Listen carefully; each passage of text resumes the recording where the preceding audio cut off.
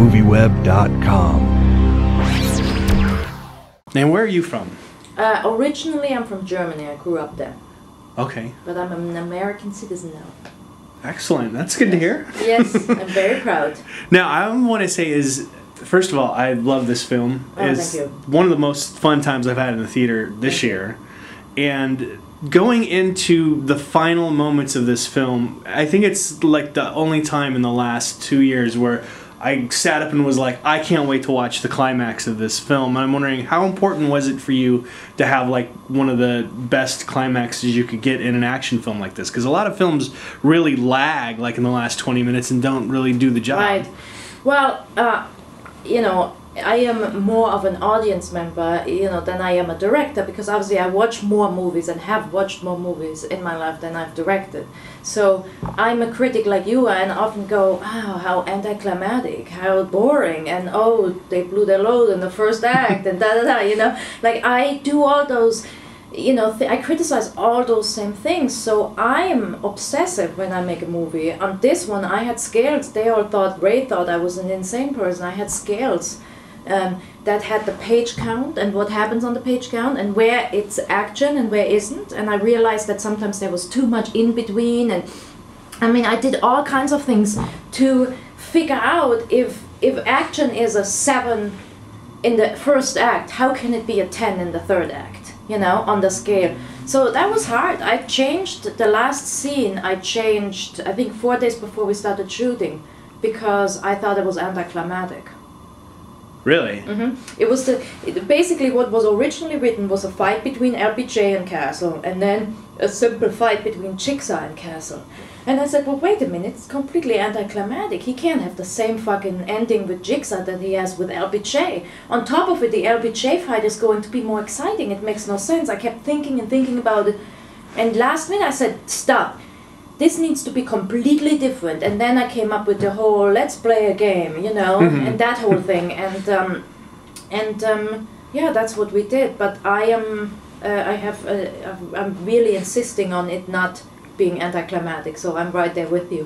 Well, I want to say is watching that scene where the jigsaw goes and collects his army really reminded me of the movie The Warriors. I don't know if that's Love so- the Warriors. I was gonna say after watching that scene, there's been talk of a remake, but no one could do it right. I was gonna say you'd be the perfect Yeah, person to do a remake. I mean, is that something There- you know what? even? I almost think somebody approached me about that. I'm not sure. I feel like somebody came to me years ago that there was a script or there was a talk about it. Yeah, I love the Warriors, but also I don't know if you've seen my previous film Hooligans. I haven't, but I'm going to now after watching yeah. this. yeah, you'll see. Then, then the Warriors thing makes even more sense to you. What I was gonna say is the film really goes off the rails at points, and I don't want to. I don't know if it's like touchy to say a little bit of it's campy, or is that okay no, to say that? the purpose. You've heard that already, It's but uh, well, I purposely did. purposely, oh, of course. Chicks and yeah. LBJ are so out of you know the real world that you almost making an ass out of yourself if you try to make them serious. Like if I would try to make these two guys like the characters in the movie Narc, people would think I'm insane. It would not work. You have to go with the. He has horsehide in his face. You know, he's a guy who calls himself Jigsaw. If you try to sell that like it's NYPD Blue, you're mistaken. I think. You know, good. I so I just talked to a journalist just now who said I haven't laughed that hard in like since the 80s in one of those action films. I'm really happy that something like this is out there and I was like right on that's what I wanted good laugh you should laugh it's over the top Well, it really does have that feel of an '80s sort of action film, but Yeah. it's kind of pushing the violence even further. I, did you see Rambo this year? oh yeah And this kind of like takes what Sylvester Stallone did as far as the violence of that and continues to push it. Mm-hmm. And I'm wondering, was that something you really felt strongly about? Is having Yes, such a I violent remember film? seeing it and going I'm gonna have to top Sly Stone with this violence I did Really? well, I did that because that's the competitive person in me. But second, the, the really more than anything, if you've read one of the comic books, the Max Punisher comic book. This is the first comics I read, I think, when I was a kid. Oh, well, actually, well yeah. the Max series is outrageously violent. Um, I mean, most of the, uh, the people say I've created some great new kills, and I did.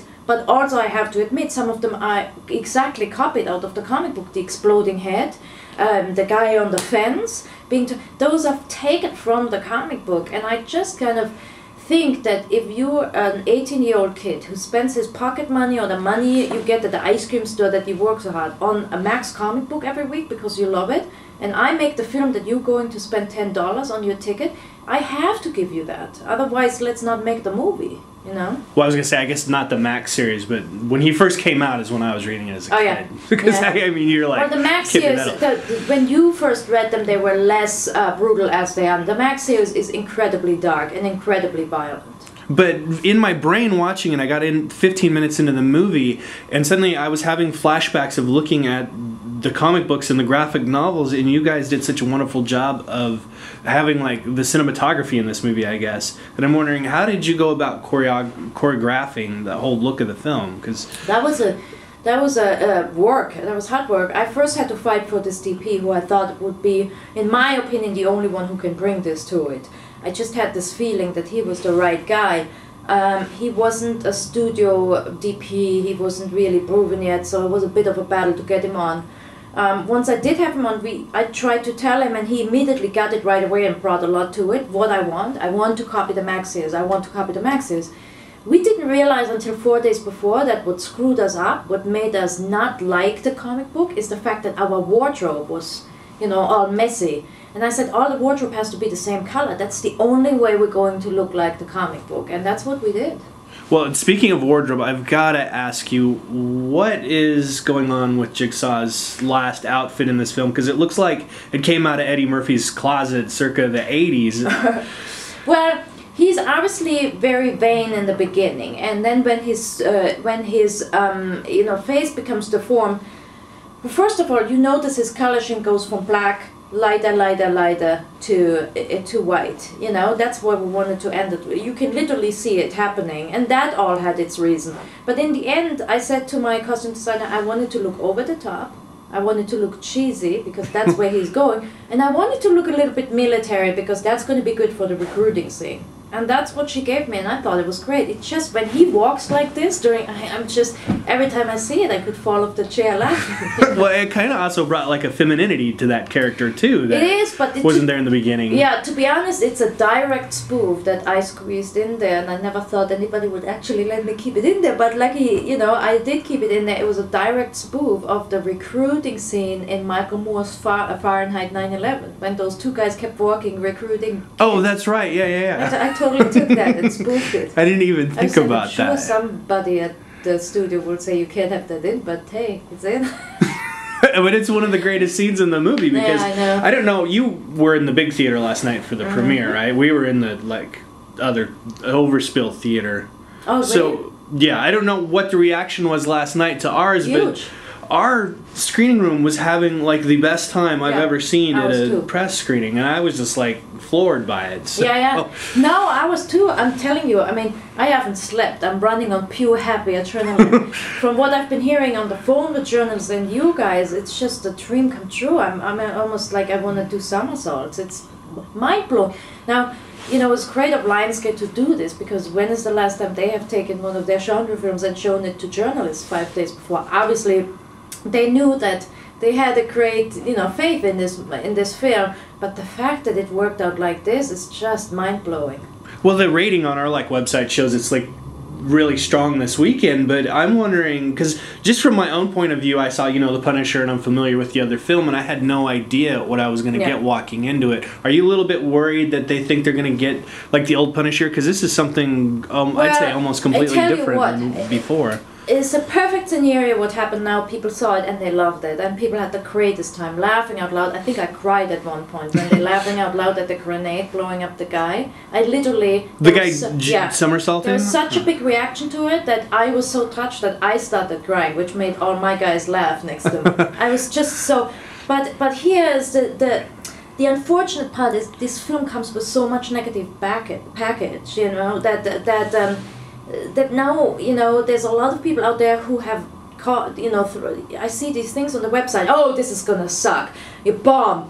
You know, it'll be in for one week. They don't even give it a chance because you know, like me, when I first got the script, I was like, Punisher, right? You know, it does come not with the best reputation. I'm hoping that you guys can change it, and that's why we wanted to show you guys the movie five days before. Well, of know? course, we're gonna put the word out because this is like one of my favorite Yeah. movies of the year. And I don't normally say that when I'm talking to somebody. And, and do you know what? A lot of hard people who said that to me, they said, "Look, I haven't given a B to a movie in the whole two last two years, and I've done it with yours." You know, and so I'm like, a "Great." B, I'm giving it an A plus. there you go. That's what I said. Why didn't you give it an A? He's like, Yeah. I never give B's. I'm like, ah, you're one of those. Yeah, he's stuck up. But well, for I, uh, real quick, I want to wrap this up. Is first, I want to know what you're doing next because now I think you're one of my favorite directors, Oh, and I'm you. excited to see what direction you go from here. And also.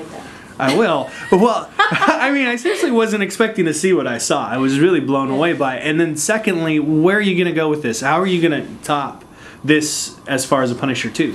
Uh, I don't think I would be around for the Punisher 2. I did this. Is, I mean, maybe for fi- if they would give me final cut on it, but that I you know that doesn't even happen for Martin Scorsese anymore. I think that um uh, you know this was one journey and it turned out really good for me. I'm not gonna push my luck twice. Uh, I think for me to top this one in this franchise, I really would have to have total freedom, you know, which for people who spend $35 million on it is hard to give, and I get that, you know. I think I have to jump to another studio and, um, you know, go from there. I, I'm looking at other comic book films. Um, I'm hoping that Ray returns to the franchise, and I'm rooting for Ray to direct the next one, you know. Oh, is he interested in that? I oh, know that. I'm making him interested. Like, you know, any other director is going to be screwed at this point Hmm. um, on the sequel. You know, what are you going to do? Do it like this? Do it completely different? And then everybody's going to be on your ass for that.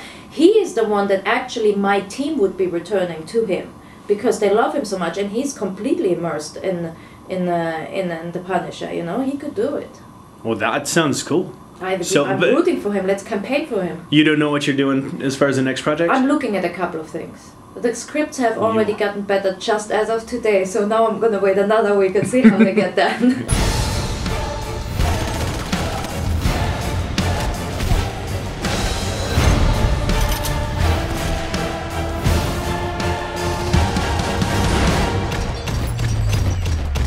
be with you, Frank. Sometimes I'd like to get my hands on God.